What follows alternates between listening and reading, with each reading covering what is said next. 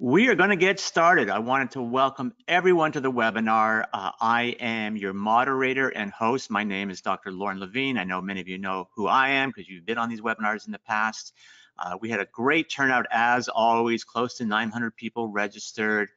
As always, I, I start off by making sure that everyone is hopefully staying healthy and safe out there and kudos for continuing your dental education. Uh, certainly, you know, I think a lot of practices are pretty much back to normal or above normal from where we were a few years ago. So I'm really thrilled to, to hear that. I'm only going to speak for a few minutes. I want to make sure that Dr. Kosinski can speak for as long as he needs. We want to leave time at the end for questions. Uh, many of you have been on these webinars in the past, so you kind of know the format. Uh, Tim's going to speak for about an hour or so. We'll open it up. Uh, we're going to introduce our, our, sponsor, Golden Dent, who will make a short presentation, off, make a special offer to you, and then we're going to open up to questions. We don't, you know, with close to 900 people, we, we obviously can't do verbal questions. On your screen, you have a GoToWebinar control box. You type in your questions as you think about them. I'm the only one that can see them, and I'll go through them. My job at the end is to try to get to as many questions as we can. When we have this many people, Sometimes we do, and sometimes we don't. I'm seeing the questions, as I said.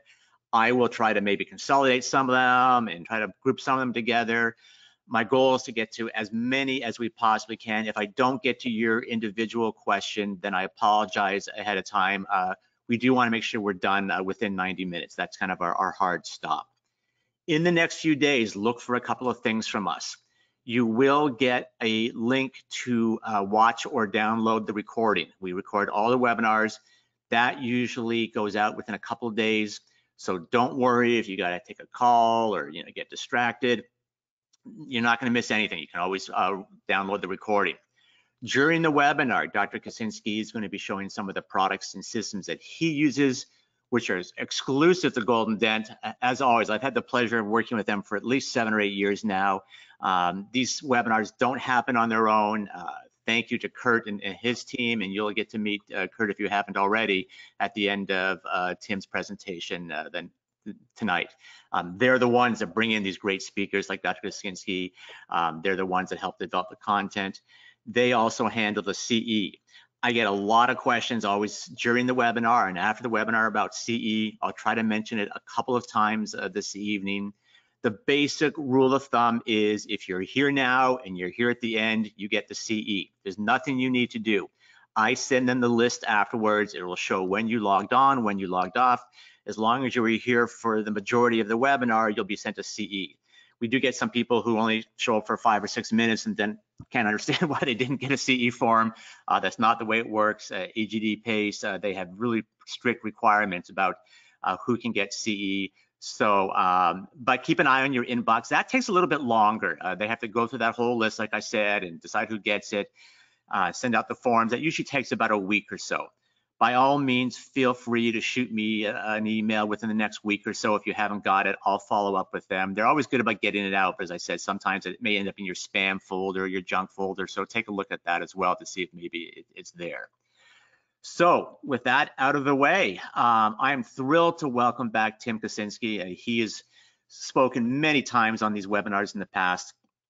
For those, those of you who don't know Tim, he's an affiliated adjunct clinical professor at University of Detroit Mercy School of Dentistry. He's on the editorial review board of Reality, which is the information source for aesthetic dentistry. He's the past editor of the Michigan Academy of General Dentistry He's currently the editor of the AGD journals, General Dentistry and AGD Impact. He was named editor of Implants Today, which is uh, the implant publication the Dentistry Today does. He's a past president of the Michigan Academy of General Dentistry. He got his uh, DDS from University of Detroit Mercy Dental School. He got a mastership in biochemistry from Wayne State University School of Medicine. He's a diplomat of the American Board of Oral Implantology and Implant Dentistry the ICOI, the American Society of Osseointegration. He's a fellow of the American Academy of Implant Dentistry and received his mastership in the Academy of General Dentistry. He's received many honors, in, including fellowship in the American and International College of Dentists and the Academy of Dentistry International. Uh, about six years ago, 2017, he received the Academy of Dentistry's International Humanitarian Award, which is for recognition of significant contributions to the enhancement of the quality of life and human condition He's a member of OKU and the Pierre Fauchard Academy. Uh, he was the University of Detroit's Mercy School of Dentistry Alumni Association's Alumnus of the Year in 2009 uh, and 2014. And 2020, he received the Academy of General Dentistry's Lifelong Learning and Service Recognition. Uh, Tim has placed uh, over 16,000 dental implants. He's published uh, over 220 plus articles on surgical and prosthetic phases of implant dentistry. He was a contributor to the textbooks, Principles and Practices of Implant Dentistry, and another one that was done about 12, 13 years ago, uh, Dental Implantation and Technology. So in other words, he kind of knows what he's talking about. And Tim, I hope I left some time for you to actually do the presentation because you got a long bio, but we're thrilled to have you back and looking forward to a nice presentation. You always crack me up, Lorne. Thank you so much. I really appreciate uh, the effort. We got a nice, nice big audience today. So uh, hopefully um, everybody out there will find this useful. You know, uh, we've done a lot of these programs, Lorne, uh, about grafting and and um, osteogen and and the golden dent materials. And um, I was asked to do something just a little bit different. Um, you know, you mentioned that, um, Lorne. You mentioned that um, you know dentistry is pretty much back to normal, and I think I think a lot of a lot of the colleagues around the country um, um, are, are are struggling a little bit.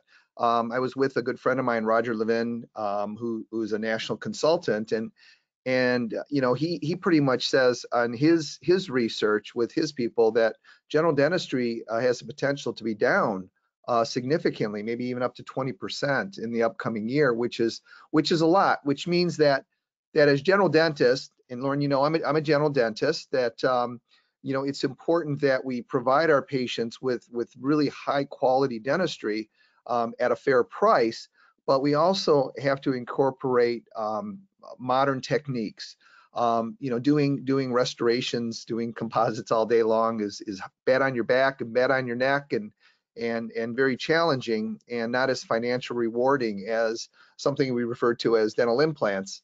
You know, and Lorne, you, you know, I've been doing implants a long time since 1985, basically, and our modern implants were introduced in 1982. So uh, it's been a long time um, we've, we've placed a lot of implants, we've restored them, and it's it's really an honor for you to invite me and, and, and Kurt with Golden Dent to invite me to, to share some of my knowledge.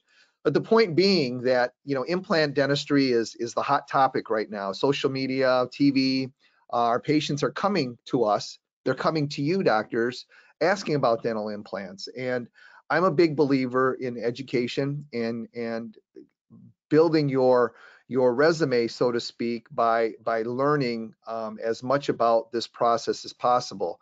Um, it's much more than just threading a, a spark plug into the jawbone, um, and so there's a lot of planning that goes into it. And that planning begins, Lauren, from communication with our patients, uh, making them aware of what's available, educating and instructing them not not selling so much, but but making them aware of what we are as general dentists are able to provide to them, and that includes extractions. And I know you know some of us. I'm I'm always a little bit amazed um, at our extraction courses because they fill up, and and I like to say that extractions are really challenging. They're hard. Um, they they take a lot of effort and and can do a lot of damage.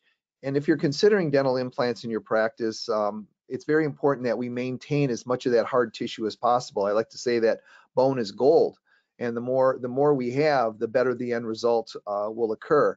So I'm going to just demonstrate a few of my extraction techniques using um, the the golden physics forceps. And I hope most of you, uh, again, the big audience today, um, are aware of it. And if you're not aware of it, you will be by the end of uh, the next hour or so and uh, Kurt with Golden Dent will will have hopefully have some specials for you um, to get you involved because uh, it's it's a technique and a process that I personally would not practice without. Um, from extractions, we have socket sites, and we know what happens to um, to to bone when we remove teeth, right? The lower jaw, the bone shrinks down and in, and the upper jaw, the bone shrinks up and in and uh, the tooth roots act like a tent pole holding up the, uh, the a circus tent. And if when we remove the posterior uh, maxillary teeth, the circus tent falls and the sinuses get large. So that's why many of us in general dentistry don't incorporate the surgical aspect of, of implant dentistry in their practices. And I think that's a mistake. I think there's a lot of really good programs out there. Um, Golden has, has a great uh, learning program, hands-on program on implant dentistry. But to begin, we have to extract. And if we're going to extract, we have to maintain the hard tissue or maintain the bone. And to do that, we're, we're going to have to learn how to graft properly. And so I'm going to show you a couple of techniques. Um, I like to say in my lectures, there's a hundred ways of doing what I do. I'm not going to show you a hundred ways of doing what I do. I'm going to show you what I do and what makes me very successful in my practice. So hopefully you can take a few gems, Lorne, you too, uh, and what we're able to do today to, to give us final restoration, aesthetics, um, um, smile design, emergence profile to maximize our results. So we're going to learn just very briefly some of the atraumatic extraction techniques. This is a different program than I've done before. Um, we're going to talk about grafting sockets or sockets where the facial wall is missing. And I like to say that I'm going to show you in this hour how to grow bone 100% of the time. And that's a very bold statement to make, but I'm going to show you the techniques where you can maximize the result, a grow bone and prepare sites for your implant surgery, those that you elect to do, and to maximize the final aesthetics. And we'll talk about some single tooth replacements, um, maybe a little bit about full arch if we have time uh, at the very end of the program. So this is a, um, a friend of mine who came in um, uh, just recently, and he had an old, looks like silver points or files, I don't know, and he had uh, discomfort.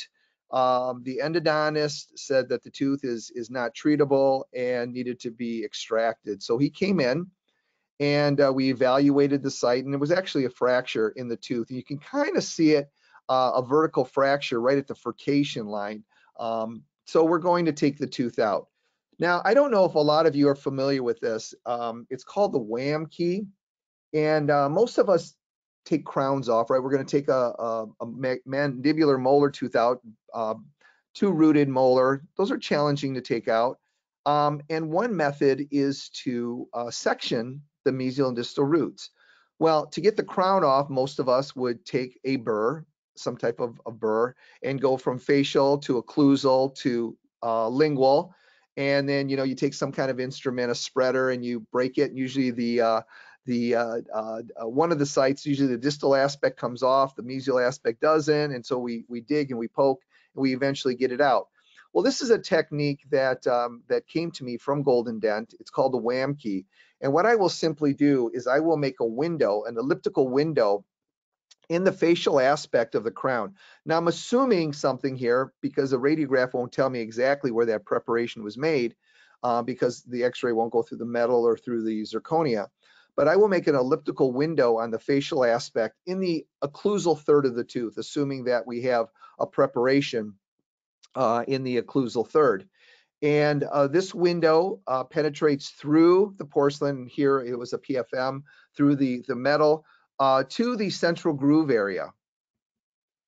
And this instrument is called a WAM key. It's a set of three instruments. Kurt, I hope you're going to discuss it uh, at the end of the program. Uh, if not, uh, please um, uh, let him know. And I th think it's a very useful tool, especially doctors, especially with uh, zirconia or BruxZir crowns. You know how hard those are to remove. And if I can just make a little window in this in this crown, take this instrument that's a heavy uh, high grade steel with a little ball on it, and I'm able to, with the flick of my wrist, remove this crown. Now, in this tooth in particular, I'm going to remove the tooth. So is that critical? No. But oftentimes we're re replacing uh, old crowns uh, with decay underneath it. And uh, we can remove this crown and we can even use this crown as a temporary. Your team members can just reline, can reline the, um, the existing crown uh, after the preparation. So I'm able to remove this crown in a matter of seconds uh, without spending a lot of money in uh, destroying burrs. Now, my extraction technique for mandibular molar is usually quite clear. I will section those roots through the furcation.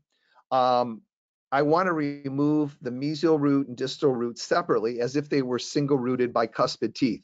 So I'm simply taking a 557, a long surgical burr, and uh, dividing that tooth through the furcation. Make sure you're all the way through the furcation. Uh, I'm just making sure that there is separation there. And again, just using forceps from, uh, from Golden Dent, um, uh, great high quality materials. And I'm just making sure I have some movement. So I have basically two single rooted bicuspid teeth there uh, with, with um, some curvature in the roots, which can make the extraction, um, conventional extractions very challenging. Now, oftentimes doctors, if we do our conventional techniques, we're using forceps, a cow horn or some sort, and we're squeezing hard and we're doing figure eights and buccolingual, and we end up breaking the, the apices of that root in the jaw. And I know that for a fact because I see so many root tips left uh, in the jaw, which makes it very difficult for me as an implant person to place an implant because I have to go out, go back and remove that those those um, uh, apices of the root. So you must remove the entire entire uh, root structure.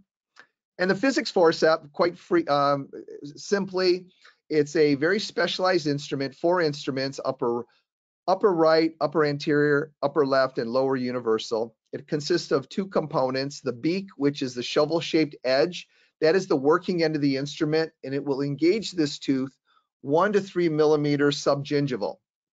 You have to have a purchase point for this to work. The bumper, and here we have a little green silicone cap on it, is placed as far down the vestibule in this situation, if it was an upper tooth, as high up the vestibule as possible, um, to create a pivot point or a center of rotation that allows us to create a little tension on the lingual aspect of this tooth.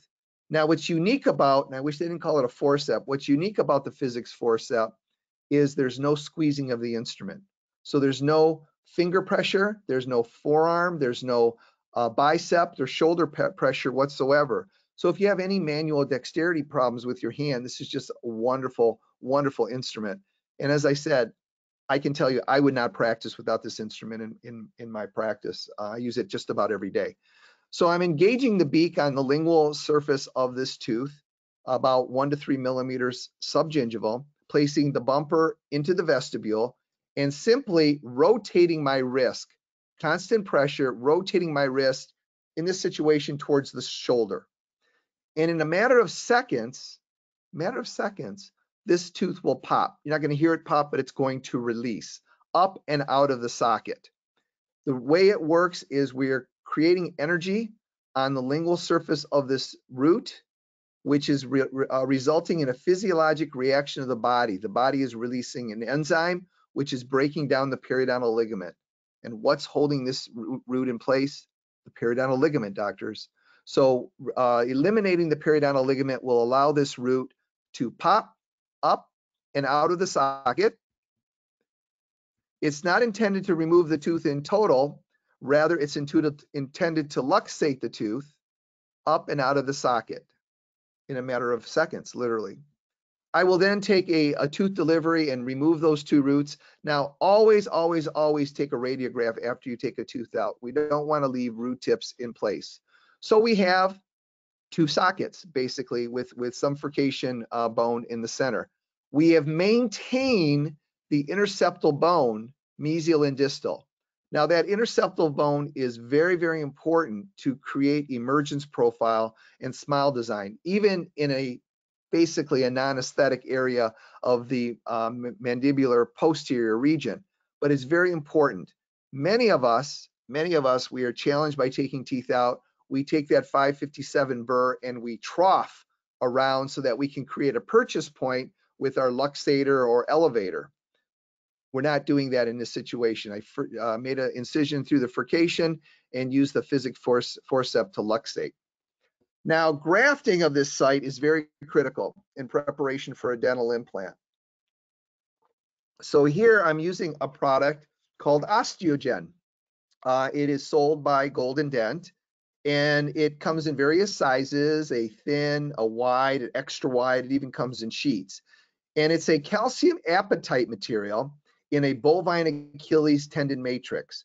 This is not a collagen plug, doctors. This is actually a bone grafting material that's been around over 30 years. I've been using it for about 10 years and lecture on it extensively around the country. It is amazing. It's a very inexpensive material. uh, about $50, maybe less if you can negotiate with Kurt later. And what's nice about it is you don't need a membrane.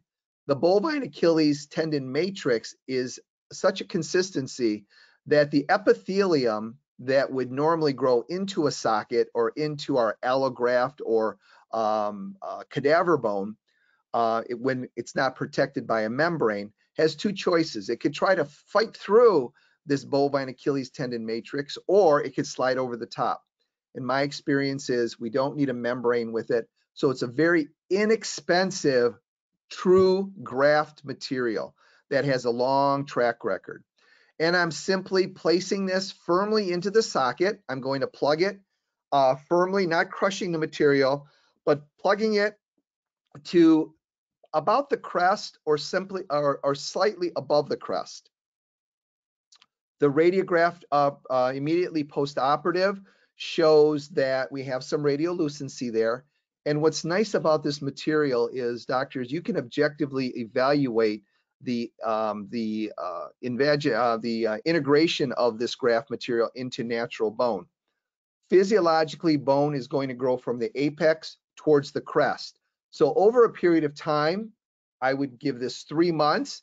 You're going to see more opacity at the apical portion, and we will continue to have bone growth. So after three months, I feel very comfortable placing an implant in this situation. I put some sutures. I will see the patient in a week to remove the sutures. I don't care about primary closure, doctor. I don't put any super glue or any kind of paste or putty. Epithelium is going to grow a half a millimeter to a millimeter a day. It's physiologic. Have the patient keep it clean, ice to the outside of the face, uh, warm saline if you want, nothing crunchy to eat. Stay away from nacho chips, potato chips, anything that can poke it. So that, that's just a case that I did this week, and I wanted to demonstrate how simple that is uh, and a financial rewarding to you. So let's look at a atraumatic extraction in preparation for an implant. Again, a situation where we had a root canal treated tooth. We have a pretty serious uh, abscess on the facial aspect. The tooth is deemed non-restorable. Uh, don't we all love posts in dentistry? Um, I'm assuming we have a horizontal fracture right at the end of that post. Uh, it's not treatable. The tooth is going to be removed. So what I did was I will anesthetize the area. Now I, I rarely block. I, I, do infiltration and I will do PDLs with Septocaine and that's more than enough for these situations. And here I'm taking a periotome again from Golden Dent, a high quality uh, product. And I'm, I'm just making sure that I have profound anesthesia. And this is the Golden Dent um, cow horn. It's a little bit different than a conventional cow horn. The, the uh, teeth on it are a little bit longer and but the principles of extraction are exactly the same as I just um, discussed.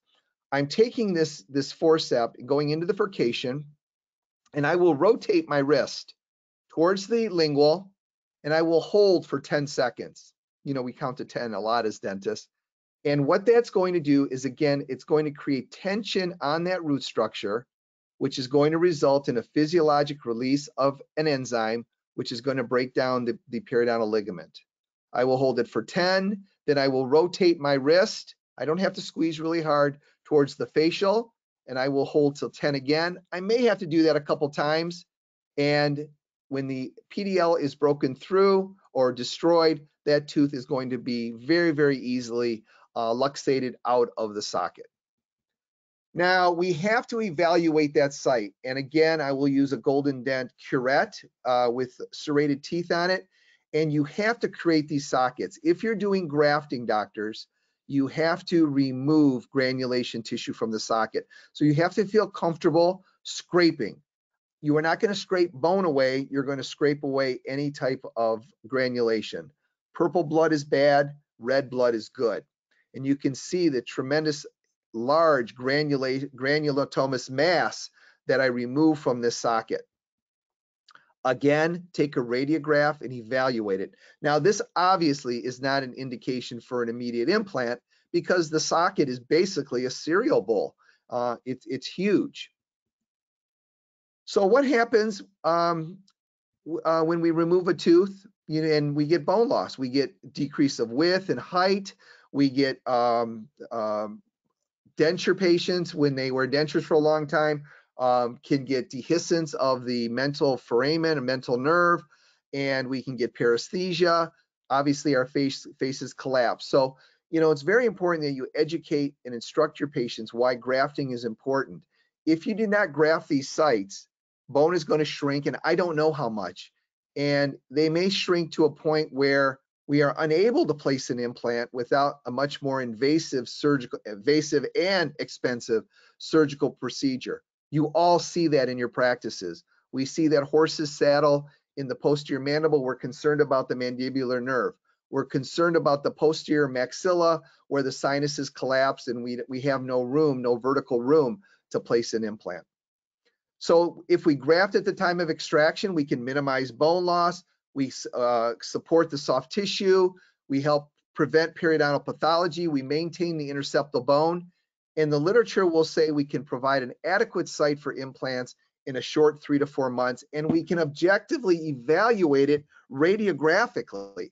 Without grafting, we get soft tissue infiltration, uh, we get loss of ridge height, and the literature will say we get a 30 to 60% bone loss in a very short amount of time, which means we might may need a more invasive grafting procedure in the future. Failures with our grafting, I mentioned when we first began, and I'm going to show you techniques in, in a very short amount of time, how to grow bone 100% of the time. Um, we have to learn how to suture correctly. You know, um, Lorne, we've done uh, grafting and suturing um, webinars very successfully in the past. Um, if you're using an allograft material, uh, cadaver bone, we must protect that graft from invagination of epithelium. So we must use a high quality resorbable membrane. If that membrane is dislodged or we don't use it, then the case becomes unpredictable. The membrane must protect the allograft for at least six weeks. I must have that membrane in for at least six weeks. Any shorter of that, and the case is unpredictable. And many of you, you know you how you do, you do your extractions. You know you have to graft, but you've gone back and maybe attempted an implant and it's mush inside. And that's because we, we have an unpredictable situation. Or we could get an infection, failure to decontaminate. You must curette, curette, curette, curette, eliminate that granulation. All skeletal bone demonstrate volume stability over time, except where we work, the dental alveolus because the dental alveolus is very labile in the absence of loading. What does that mean? We know when we have denture patients, oftentimes we have to reline their dentures over time. Why? Did the plastic change or did the underlying bone change? Well, we know the answer to that. There's a lot of grafting materials out there, nearly 200. Um, allograft is human bone. And I'm, the other material that we're going to talk about that we just talked about is the osteogen uh, calcium apatite material. It is the same building block as natural bone, does not take a membrane, so it's a very cost-effective way of grafting um, four wall or sockets. Resorbable membranes, um, again, from, from Golden Dent, we're using a resorbable membrane. It's a three to four month membrane. Remember, I only need it to last six weeks if I'm using an allograft. Um, and our allograft is cortical cancellous, very high quality osteoconductive uh, product. And again, I, I, think Kurt will probably have some specials for you at the end of the program. Osteogen, as I said, is a calcium apatite in a bovine Achilles tendon matrix. It combines both the graft and the membrane.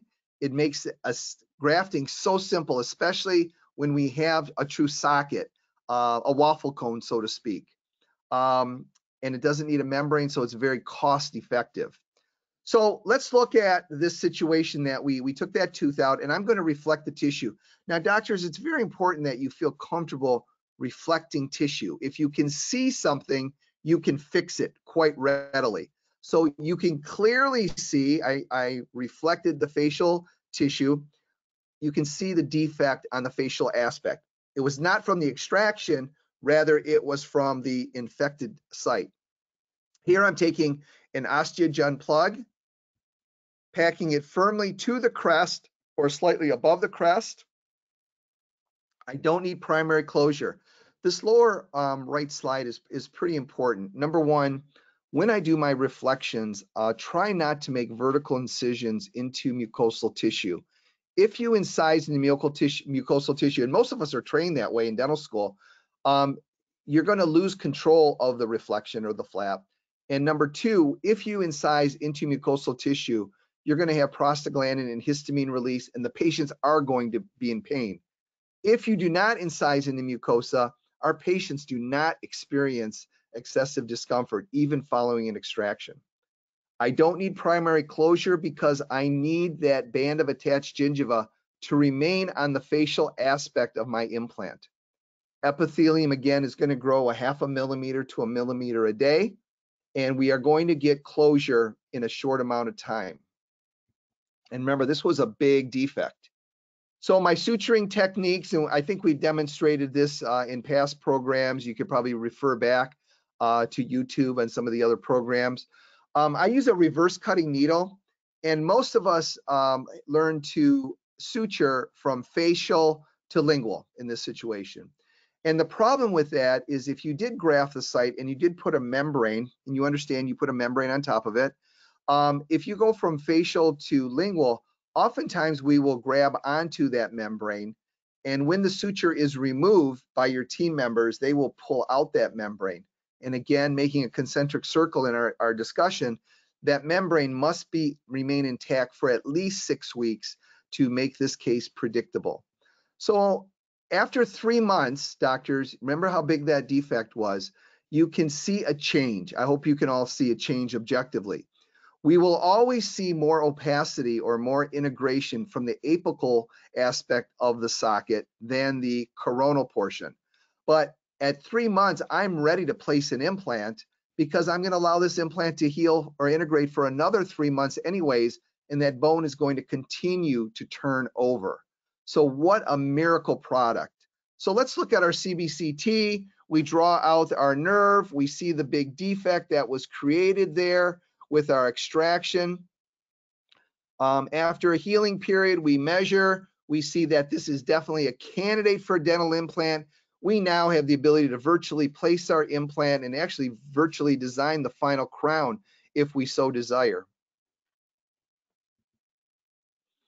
And again, you can see in the CBCT, we don't have complete integration, but more integration in the apical third uh, our initial stability with our implant is in the apical two millimeters of every implant system today. And we have the ability now to even design our final restoration prior to any surgical intervention. We have complete control. We are away from the mandibular canal and the mandibular nerve. We don't block this patient, so um, we're just infiltrating the soft tissue Bone is not innervated. Bone has no pain receptors. Nerve run through bone. So the only thing that we really need to anesthetize is the soft tissue. So after three months, look at our soft tissue and how it healed. We are evaluating the band of attached gingiva on the facial aspect. And here I'm taking an Orban knife, again from Golden Dent.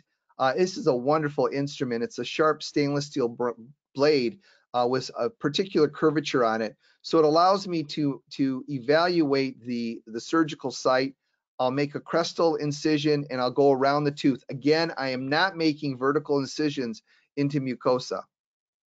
We're evaluating the hard tissue and you can see after three months, doctors, three months, we have something that looks like bone.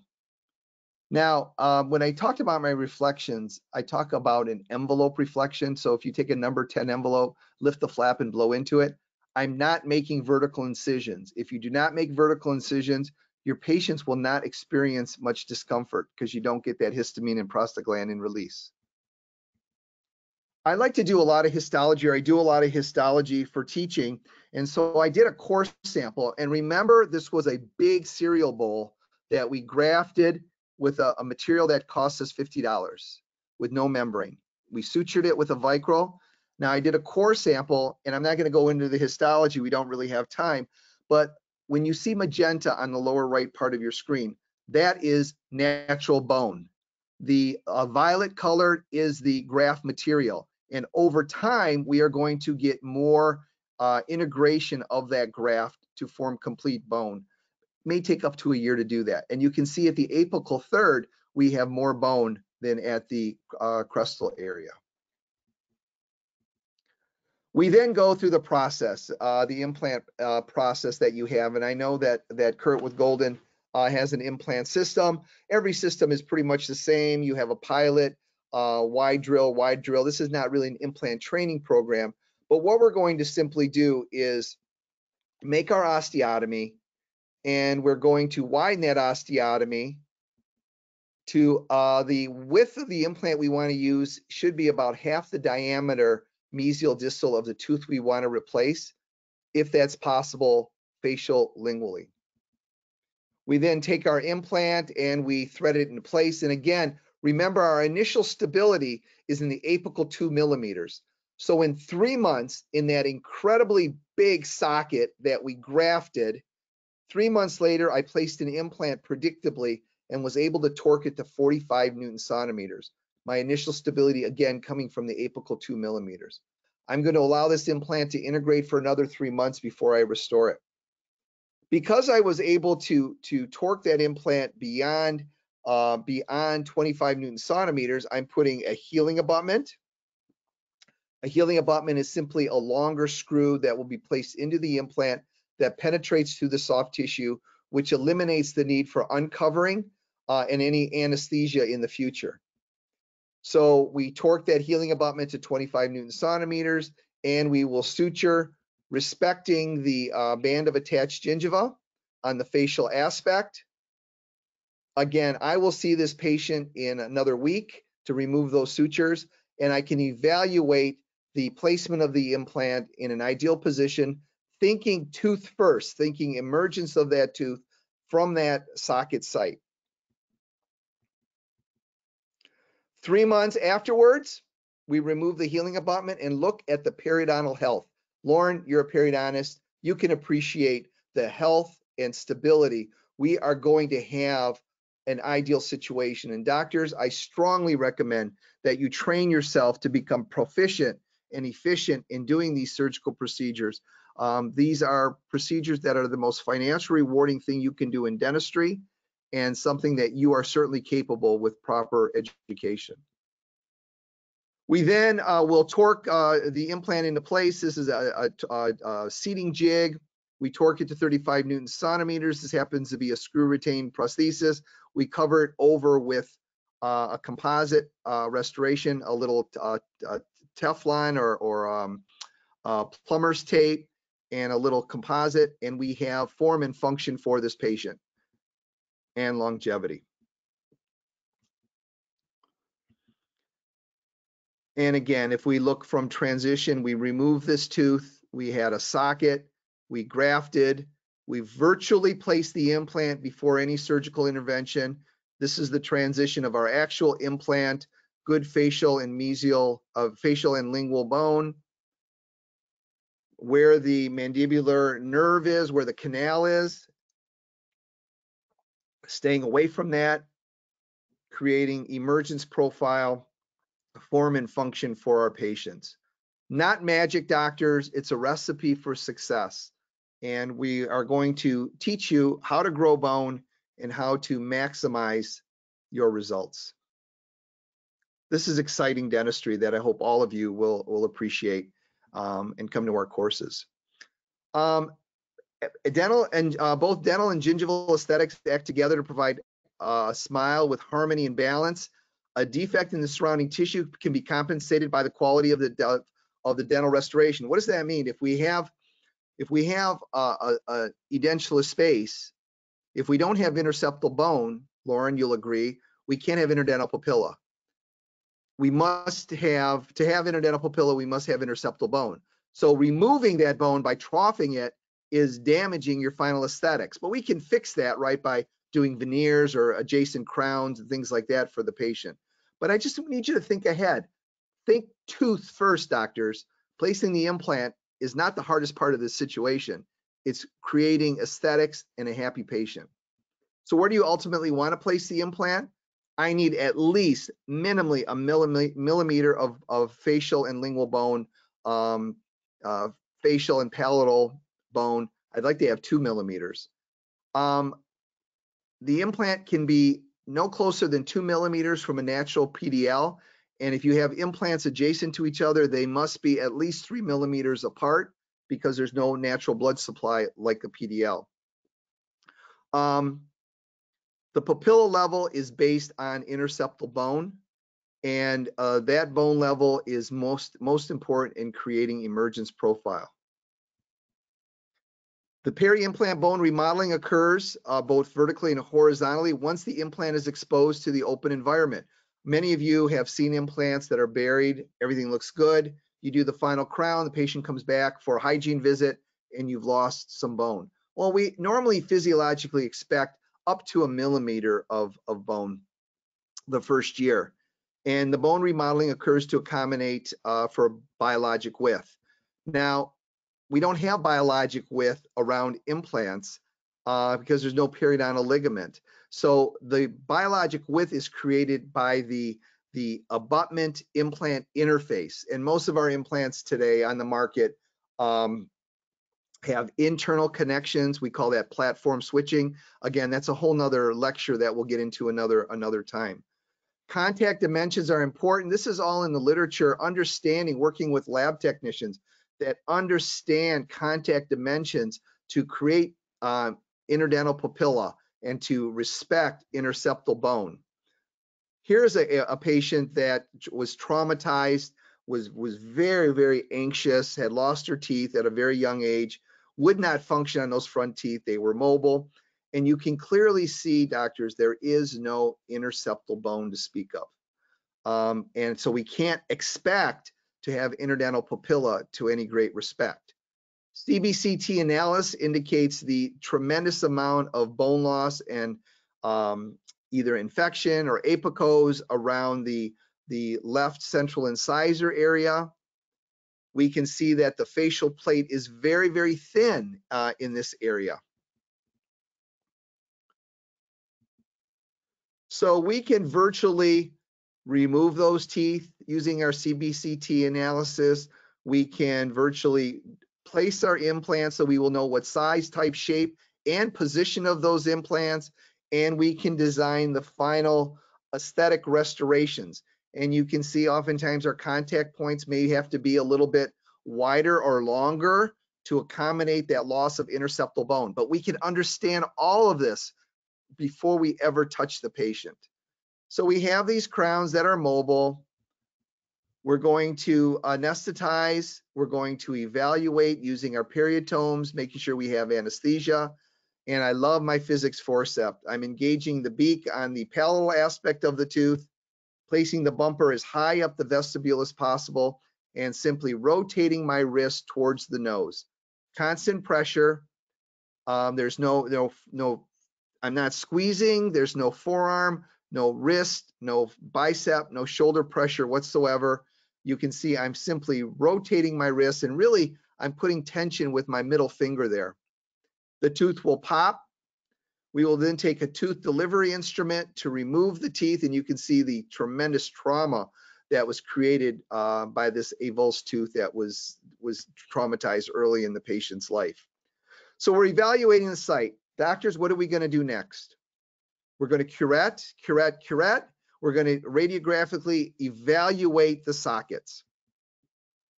I'm taking my Orban knife and I want to see the defect. But again, I'm doing my envelope reflection.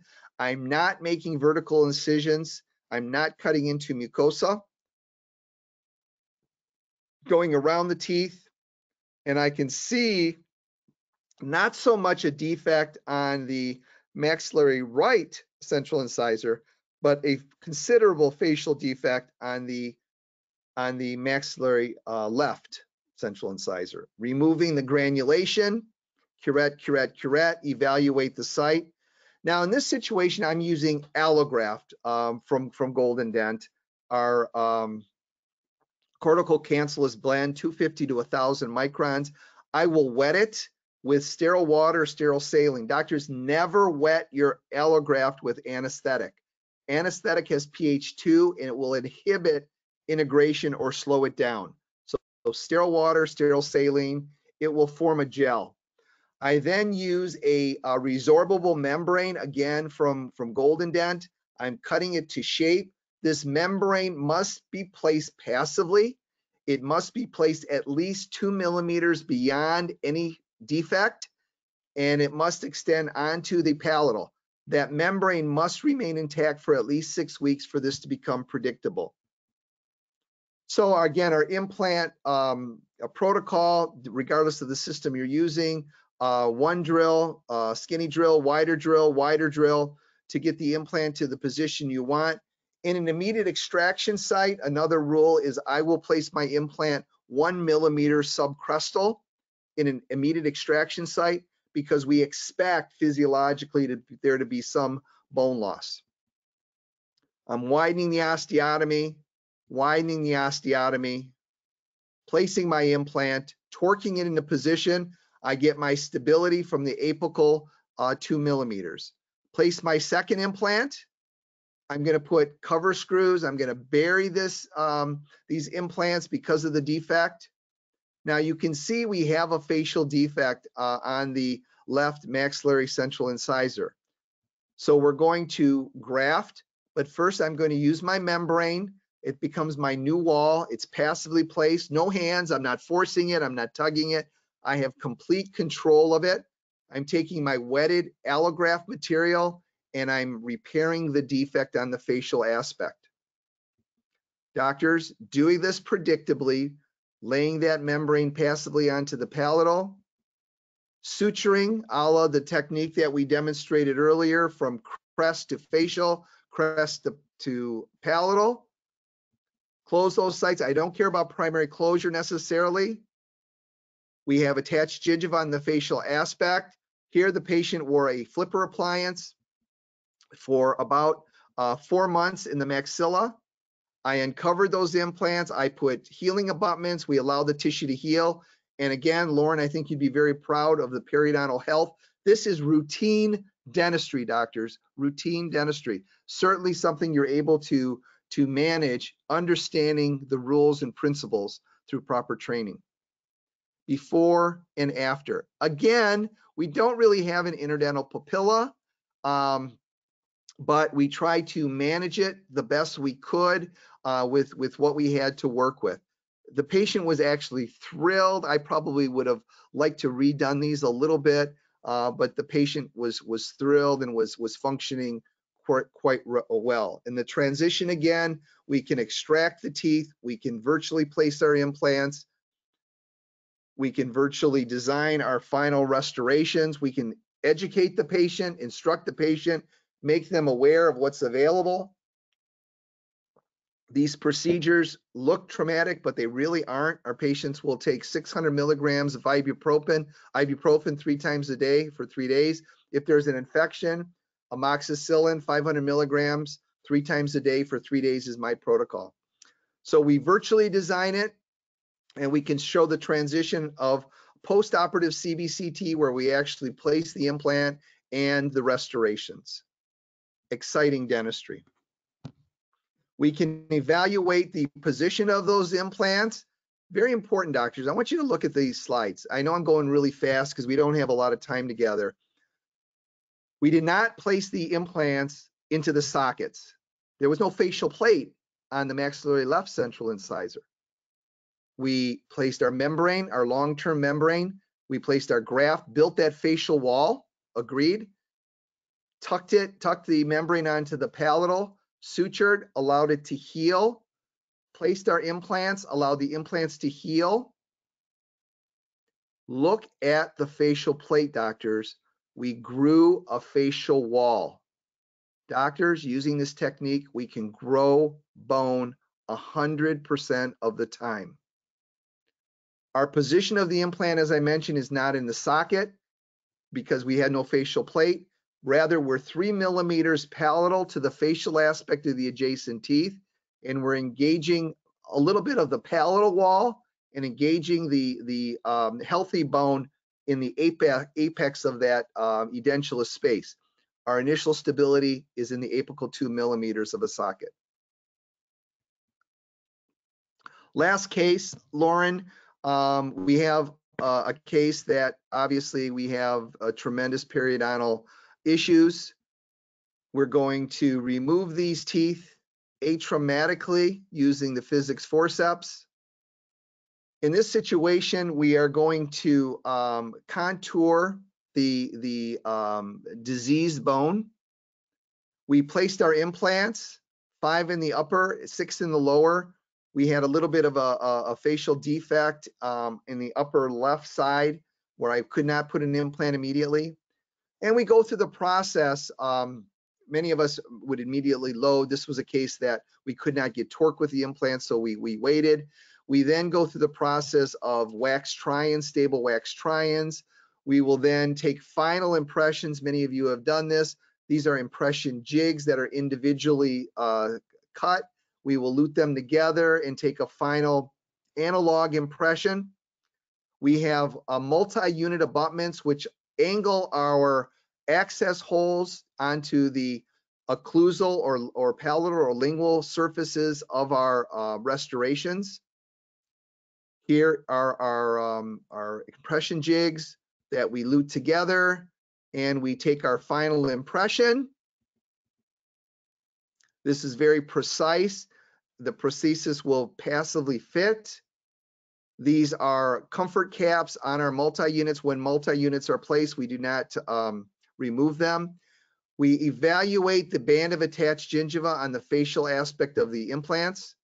We then make provisionals. After we do the wax try-in, these are uh, PMMAs, um, uh, acrylic transitionals that the patient, we will evaluate aesthetics. We can make changes.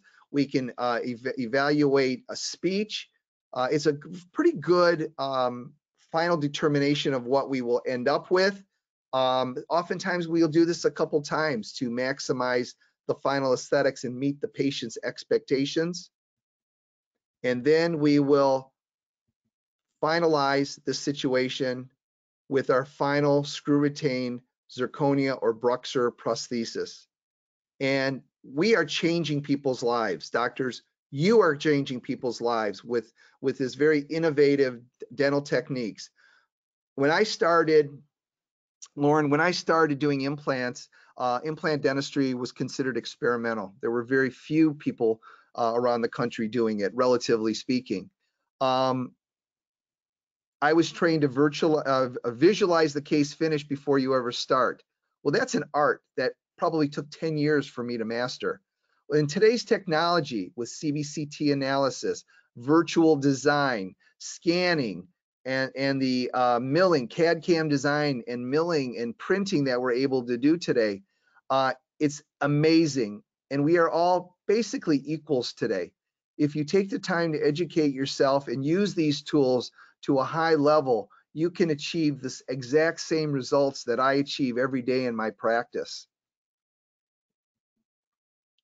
And we have a pretty pretty darn happy patient, uh, young, a young man who um, obviously had a lot of dentistry done, but again, we're able to to provide him uh, an amazing service. He's he's come back a few times now for his hygiene and uh, just amazing amazing technology. And our final restorations after about a year. Uh, one final one. Um, this is an interesting case. I may have showed this in a, in a previous, but this patient presented with a pretty big defect. And you can actually see the Schneiderian membrane. Um, and many of us may not want to do this, but what I did was I, um, I'm, going to do this kind of quickly. Um, we, we took our Osteogen plug and I kind of very, very carefully kind of lifted the Schneiderian membrane up. We still had a pretty big defect there. So I took my allograft um, from Golden Dent, packed it. Now, what do we have to do now? If we're using an allograft, what do we have to do? We must protect it with a high quality resorbable membrane. It must be passively placed, sutured, and evaluated with CBCT analysis. So we lifted that sinus backwards and we fill that entire defect. This is what it looks like after a week. I don't expect complete closure, but epithelium again is going to grow um, a half a millimeter to a millimeter a day. three months post-op, you can actually objectively evaluate the integration of the bone. We can actually see, I do my CBCT measuring. Is this a case that we want to do an implant? Let me make my incision and let me show you, doctors, what we have there. It's not magic. It's a recipe for success that all of us can do, but no shortcuts. Just follow the rules and you too can grow bone. Again, we're going to go through the process of placing implants. I don't want to take a lot of time with this. We can do that at another implant course if you wanted to learn.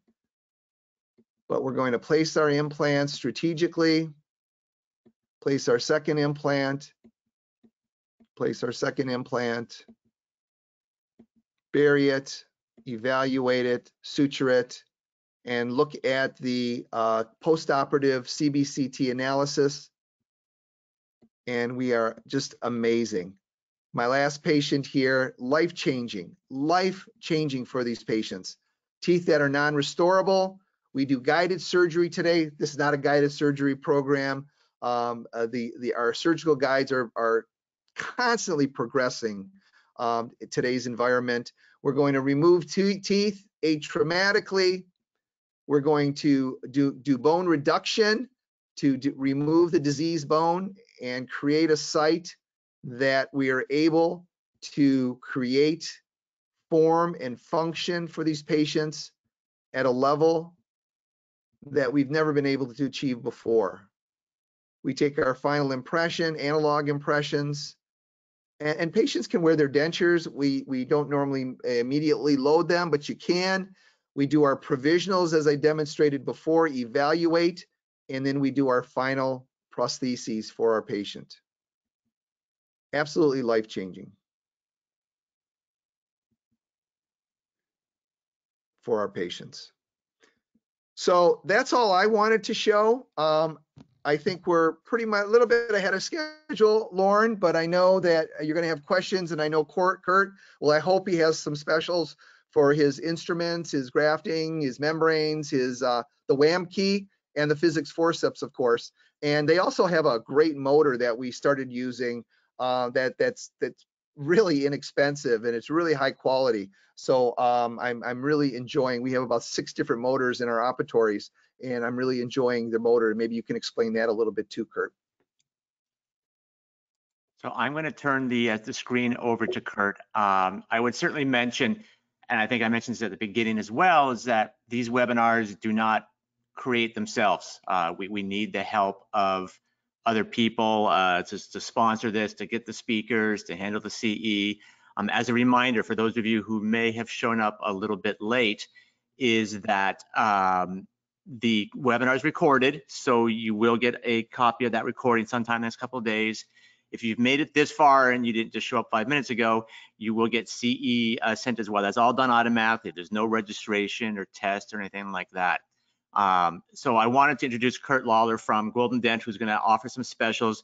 If you're thinking about getting the you know, some of their instruments, some of the supplies that they mentioned tonight, he's going to give you a code and this is you know the best pricing you're going to get. This is better than cda pricing. It's, it's better than hinman. It's, it's better than what he sells it to his mother.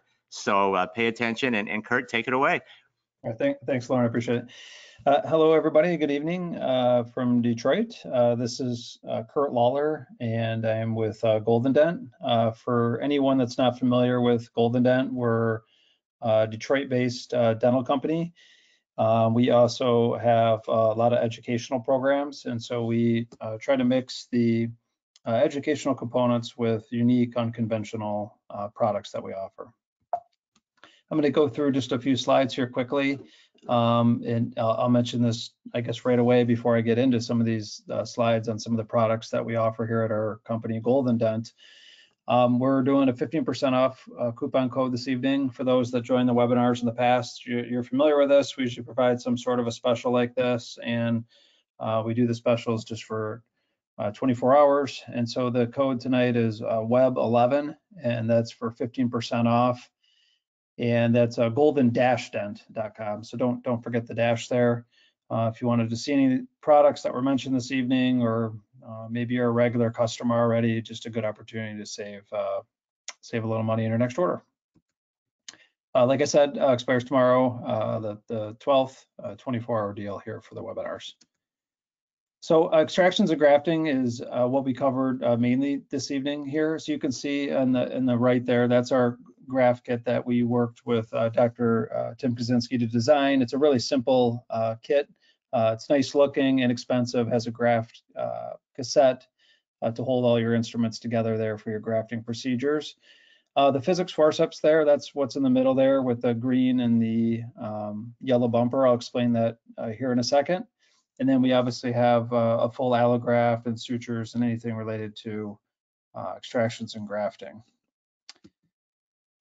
So for uh, implants, uh, we have our uh, surgical motor. Um, we have all of the Woodpecker products. So this is uh, their latest surgical or implant motor. we've been very happy with it. We use it in our live patient programs and our educational programs. Um, so far, we've been very, very happy with it.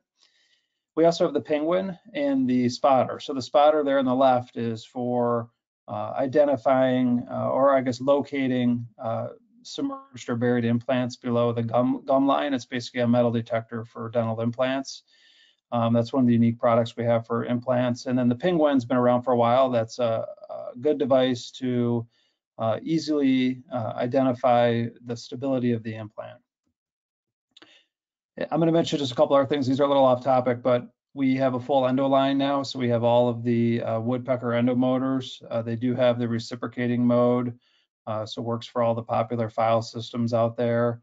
Um, we have obturation systems, files, apex locators. The other part of our business is our restorative. So uh, I know we showed the, the WAMkey this evening, which is our crown remover. Uh, we also have a sectional matrix system and then our curing light is a very uh, popular uh, light for us. It's inexpensive. It's a wide spectrum uh, LED curing light. So I wanted to mention this just in case um, anybody hasn't joined a webinar lately or isn't getting our regular emails. We just added um, about 250 to 300 uh, ultrasonic scaling tips. Um, so if you're looking for an alternative to maybe uh, some other the popular brands, we have compatible tips uh, that come in the kit there that you see in the top right, and those will work with all of the uh, top brands that, that you've heard of, such as like EMS or uh, Mectron and things like that. So back on topic, I guess here we have, uh, like I said, one stop uh, stop for extractions. We have the Physics Forceps. This is the product that was our first product based on um, the, the dental business aspect of what we've done here. And so this is the standard series set of instruments. This is our most popular set. There's one lower instrument and three uppers. Uh, the technique was explained in, in, detail throughout the webinar this evening, so I won't uh, mention this too much further, but this is the set that I would definitely recommend. Um, if anybody's looking at the physics forceps, you have 30 days to, to try them in your own hands, um, use them on as many cases as, as you like to make sure they're a right fit for you. And these are the ones that are going to be the easiest to use. It's called the standard series, the, the four with the green bumpers. So if you're looking for just conventional instruments, we have those too. A lot of people asked us, hey, can you make a, a really nice ash or a 150 or 151? Uh, we have these available also. So as a pre-step, uh, you can use really you know, any type of elevator instrument. Uh, I, I, think the one Dr. Kosinski likes the most is the, the one on the bottom right there, the bayonet uh, type instrument or any type of luxator. This is a great pre-step to, to, using the, uh, prior to using the physics forceps. It'll obviously just make the uh, extraction that much easier. It's, it's not necessary because the physics forceps really is the elevator, uh, but it's something that obviously can help in the procedure. This is our uh, granulation um, shaping or degranulation burr kit. So if you can't uh, manually curette the socket. I know we talked about that um, in pretty good detail this evening. Those top two burrs are really good for uh, degranulation. Uh, it allows you to just get, get in some of the spaces that maybe you can't uh, manually curette with uh, the curette that I'll show here next. So this is the manual curette, and then the alternative would be the one I just showed here in the top right, which is the tissue and degranulation burrs. Um, and then these obviously have your bone leveling burrs, which we showed in the last case for uh, when you need to level the bone with a straight nose cone, and then a good cutting and a shaping burr. This is the graft kit I just mentioned. Osteogen plugs, we covered this in detail. Excellent product. The one with the star above it there, the large size is the most popular. You can always cut it to shape, so I would recommend if you've never used the product, uh, you start with a large. Um, they come in a five pack or uh, a 10 pack. This is our allograft. So there's a lot of allograft out there, um, like Dr. Kosinski mentioned. Uh, we've had great feedback on ours. Obviously, the all allografts out there are, you know, reputable um, tissue banks and they come from proper sources. But uh, this one's a fair price, good quality product, and it's the um, mineralized cortical cancellous mix, which our uh, class instructors uh, prefer. So for membranes, uh, we have a few different options here. EpiGuide is, is a good membrane. It's one of our uh, more popular membranes. Uh, you also have the, the coliform or the, uh, the OsteoFlex membrane. They're all la long-lasting membranes. Um, it's really just a preference thing from a handling perspective, but they're all going to be, they're all going to stay around for the required uh, six weeks that was mentioned this evening. So sutures, we, we have our own PGA and, and a black silk suture. These are um, very affordable. If you're using another PGA type suture, I definitely recommend taking a look at those. I'm gonna skip over that. And then I'm just gonna mention our education programs real quick before I turn it over to the uh, Q&A session. Uh, we do uh, hands-on programs. We started with extractions, then we do extractions and grafting, um, and then we even have a more advanced type of uh, extractions and grafting program. Uh, you can learn more about these at amplifydental.com. That's our uh, education website, um, which is separate from the product-based business. Uh, we have a couple, uh, can't see the dates here, but the, the dates are, um, here's a couple upcoming dates, I guess. One of them's, uh, I think AMP2 might be full for, for next weekend, but we have um, uh, our next extraction class, AMP1, coming up soon. And then we have our guided full arch uh, implant class uh, coming up also looks like here pretty quickly a couple couple weeks. So that's it. I'll leave this up and turn it back to uh, Lorne for the questions. And I appreciate everybody's time this evening. Um, you can give us a call in the office. We're very knowledgeable about all of our, our products. We can help you out with any questions you have.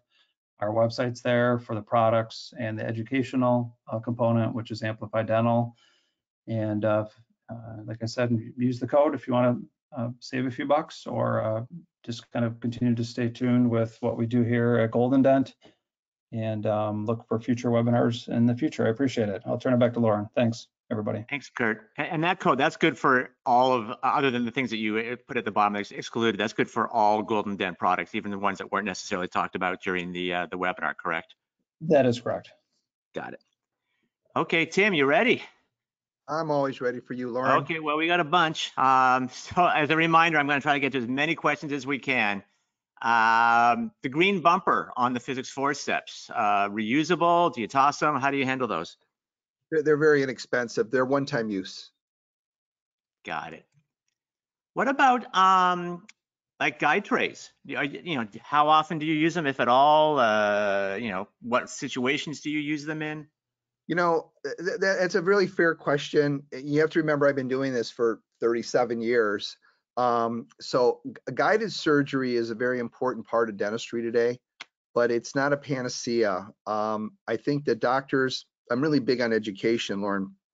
I think the doctors still know, need to, need to know how to do implant surgery two dimensionally because sometimes the guides aren't exactly where you want it. So what I want to leave people with here is to know how to reflect, know how to anesthetize, know how to reflect to protect the tissue, respect attached gingiva, see, see the available bone. We can grow bone. A guide is is is a tool. It it it, it makes you more comfortable um, than than fine. Uh, it adds costs to it. Um, it's not just a suck down. A guide is not a suck down. It's very precise um, and engineered very, very, very uh, specifically. So um, just respect the hard tissue, respect the bone. Um, and if, if you feel you need the tools, we, we have the tools available to make you more proficient and efficient. But it's not a godsend for, for it's not just an end all for everything. Right. Okay. What about um, it looked like in one of the cases that you showed, I think it was the anterior, you used an allograft um, but you had used that osteogen plug um, in the posterior. Is there a specific reason or uh, rationale that what you would use one versus another when it comes to these graft, grafting Yeah. sites? And again, great question. Uh, my rule of thumb, and you know what I'm trying to teach here, Lorne, and, you know, we had an hour together, is I don't want to exaggerate our abilities, uh, what we can and can't do. Um, what what I what I would suggest is that that we have a socket with all the walls intact, all walls are intact. Then osteogen is is just it's a very cost effective, a routine, easy thing for you to do um, for your patients to maintain hard tissue. If uh, we have a facial defect greater than five millimeters, then I suggest that what I would use is an, a high quality allograft material with a high quality membrane to protect it. I want predictability. We're doing research now, you know, and obviously I can stretch my abilities to a different degree, but um, for those who are just using them, these materials, that that's pretty much my rule. All the walls intact, osteogen is great. If a facial defect is greater than five millimeters, allograft, place the membrane at least two millimeters beyond, make sure it's passive, make sure it stays in there for at least six weeks. Okay. The um that full case that you showed, how did you uh, provisionalize that? I assume it wasn't block temps like I did in dental school. Um, uh, uh, the the we provisionalized with with with- in these both of those cases were with dentures, immediate dentures. Okay. Um, do you use osteogen as a as a quote unquote membrane against the sinus? Uh, and they're saying that they love the osteogen materials. However, I've entered after extractions and healing, and the site has been uh, mushy, I guess. Well, that's technique, Lorne. And again, um, you know, I think doing a hands-on program, um, I, I'm going to say this, and I have to be politically correct. You know, as general dentists, we have a tendency to be frugal. How, is that a good word? And the, the membrane has to be placed firmly. It has to be placed to the, the crest or slightly above the crest. And oftentimes you will get excessive blood and you, you need to squeeze it squeeze the ex- excessive blood out of it and it won't be mushy. But sometimes we need more than one plug for a certain site. Um, and you just have to bite the bullet and open another one and have enough material there. Okay. Um, got a few questions here about that that full arch restoration. About uh, well, how do you maintain that? Uh, is, is food impaction a problem? So how do you how do you deal with that? Um, you know, uh, when we're using the zirconia, the BruxZir, the plaque does not stick to it. It, it does not, it, nothing sticks to it. So we will, it's specifically made, um, it rests on the tissue, but it's not, it's not a, um, uh, it's not, uh, uh, concave on the tissue. So water pick, we, we have the patient, what I tell, pa- I don't sell water picks in my office because they break and then patients bring it back to me. I tell them to go to Costco and you know get last year's generation of water pick and that works really well keep it on low and that will keep it clean obviously we'll see the patient uh, at least once a year uh, more if if they have um, you know maintenance problems um, if you have to you can remove um, the bridge to clean underneath it but it's not like the old hy- hybrids the old acrylic ones where we got tartar buildup or calculus buildup We- we're not seeing anything stick to this Okay. and again, but you know, Lorne, the important thing, and as a periodontist, you can appreciate it. It's the surgical procedure is very important. You have to have attached gingiva on the facial aspect of all your implants, and and that helps in the periodontal maintenance long term. And that's Right. something that is, I think is lost by general dentists oftentimes. Okay. Um, what uh, you demonstrated a few uh, you know slides from uh, CBCT. What uh, system and software are you, are you using? Um, I, I, you know, there's a lot of really good stuff out there. I use the Vatech system. Um, Vatech is, I- think, is the best. Um, it has different fields of view. It has different um, uh, um, exposure rates. Uh, we can take bite wings with it. It's it's FDA approved for uh, pedodontic use. Um, they make their own components. Um, they have a really great uh, education program and support system. And what I, what I like really about it is um, they set a contract with you, and when it's time to to um, upgrade, um, th- they will buy it back from you at a preset price, so you don't have to put put your instruments on eBay. Okay. Um, So for the Amplify courses, are there ones that are specifically related towards implant placement? Um, yes, Dr. Nazarian, who, who is just a phenomenal instructor, um, has a course through Golden Dent, um, hands-on program. Absolutely. Okay. Outstanding, outstanding clinician. Uh, Someone had a question about using uh, Veterans GI Bill benefits as payment for the courses. I'm going to forward that along to, to Kurt Adam just to, to have him uh, to uh, you know answer that specifically. Okay, so here's another question. Uh, the posterior implants you place, you place the plug. In the anterior, you use allograft. I believe one of the posterior sides had an ob obliterated buccal plate and you still use the plug. For the anterior, if you don't plan on immediate placement, because you have used an osteogen plug and call it good? Yeah, um, again, um, my rule is five millimeters or less. I will use an osteogen plug routinely without a membrane. Greater than five millimeters, I will use an allograft with a membrane. We are currently doing research. I we have sheets, and I'm using the osteogen as a membrane. That's not what I really wanted to teach here today. Uh, I, I really want, you know, I said twice in the program, we can grow bone 100% of the time, and I just wanted to teach I don't want to stretch your abilities. Let's let's master growing bone in certain situations. But it's a it's a great comment. Um, but those are pretty much my rules, pretty routine. Okay. What about if you are using an osteogen plug uh, with missing walls? Are you are you using a resorbable membrane with that, or do you need to use like Yeah, a can. particular bone for that? You you you you can you can protect it with a membrane, a, a resorbable membrane, uh, and that's fine too. Absolutely. Okay. Do you use a collagen membrane with osteogen plug if you're missing, say, half of the buccal plate? I would prefer. I personally, I will I will use allograft with a membrane if if I'm missing um, more than five millimeters. Okay. What about for people who um, don't have a cone beam, they're doing 2D surgery, they don't have a guide. How do you know how far you can apically position, you know, the osteotomy and the implant? um, you, you won't. Um, you know, um, you know, I we don't block. You know, we we infiltrate. Bone is not innervated, so obviously the patient can tell you. You can you can uh, reflect. You can actually see the available bone. Um, you can take two-dimensional digital radiographs. Um, use the apices of our of the adjacent teeth as a guide. Don't go any longer than the the apices of the adjacent teeth. You know, I like to say, you know, in in, in today's environment, you, you you need CBCT when you need it, you know. Uh, and if you're not sure, have it done. You don't have to have it in your office. There, there are a lot of offices that will have be happy to take your patients and do a CT. There's mobile units that will will allow you to do that. So, um, you know, the cost of these machines have really come down uh, considerably.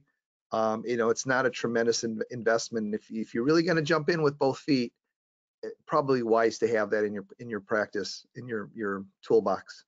So you, you use a CBCT for every implant case?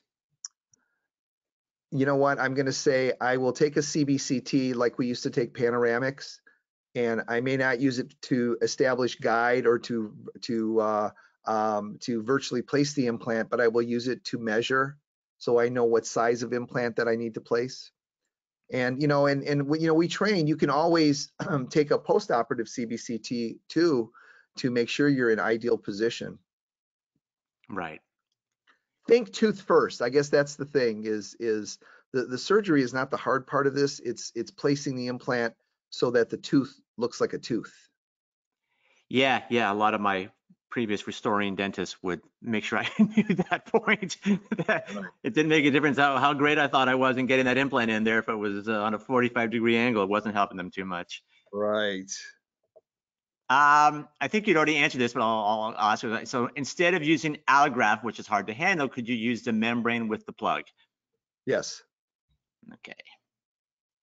Well, shockingly, we got to all the questions. That's that may be a first.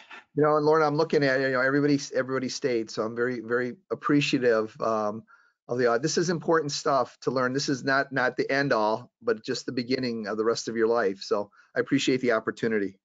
Sure. So I'll let you uh, give us some parting thoughts, and uh, then we'll close it out for the evening. Well, you know, as I as I said earlier, I, I think that you know um, uh, we're going through some transitions, you know, post COVID. Um, you know, we were busy there for a while and, and the economy is changing. And I think um, the, the best investment everybody here um, can make is in their education and developing skills. Your, your patients want this work. Uh, if you're taking teeth out, you have to learn how to graft. If you're going to learn how to graft, you have to learn how to manage tissue. And if you're going to learn how to manage tissue, you have to learn how to suture. And if you've gotten that far, you know, placing the implant and understanding tooth position, uh, we can train you to do that. Well, the good news is that all the things you talked about have all been previous webinars that we've done. So I would encourage people um, I, I think uh, Golden Dental has it right on their website. I know for sure they have a YouTube channel that you can uh, watch some of those Well, old webinars as well. They put my name, it'll be on there too. So Perfect. Okay, yeah. So, you know, like you said, this is a, this is a multi, you know, multi directional, multifunctional type of process, and uh, there's a lot that goes into it, and that's why I think it's such a great that we've done uh, so many different webinars on the various parts of this. So, I want to thank uh, Dr. Kosinski for joining us. Uh, his webinars are always the best attended of all the ones that I do. We always get 800, 1,000, 1,200 people that that show up uh, and everyone, like he said, everyone stays. Uh, I want to thank uh, Kurt and Golden Dent for for their ongoing commitment to dental education and doing these webinars and bringing in these great speakers. I would highly encourage you to take advantage of that special. When he says it's good for 24 hours, that means don't call them on Thursday expecting to get the the special because it's gone. It, it is a short-term special, but as Kurt said, they offer a full uh, you know money back guarantee on, on everything that they that they sell. So uh, you don't have to worry that uh, you know you're going to be stuck with something you're not happy with. Um, the uh, final thing as a final reminder to, to everyone is that the webinar was recorded. The recording will go out in the next day or two. Uh, golden dent will send that out they will also handle the ce forms there's nothing you need to do when you log out you're done you're not going to see a screen that takes you to any type of registration page and there's no quiz or test or anything like that. I send the list to Golden Dent. They'll see when you logged on, when you logged off. As long as you were here for, you know, most of the weather. I don't know what the number is that they use. I think it's like 80% or 85%, but whatever it is, uh, as long as you were here for most of it, then you will get that CE form check your spam folders, check your junk folder, because sometimes it ends up in there. Uh, but that takes a little bit longer, usually around a week or so. So if you don't have it, say in a week or so, and you've checked your junk folder, by all means, feel free to shoot me an email. I'll be more than happy to follow up with Golden Dent and make sure you get your CE forms. So uh, thank you all for joining. We know that your time is valuable. Uh, we do these webinars on a regular basis. Uh, I think the next one is I think I, I, can't remember. I think it's either in May or June, but Kurt and I have a few more planned uh, for this year. So we'll make sure everyone that's here tonight will be sent an invitation for the, the next webinars as well. Please stay safe and healthy out there. Uh, and we look forward to seeing all of you on our future webinars. Good night, everyone. Night, Lorne. Thank you. Night, Tim.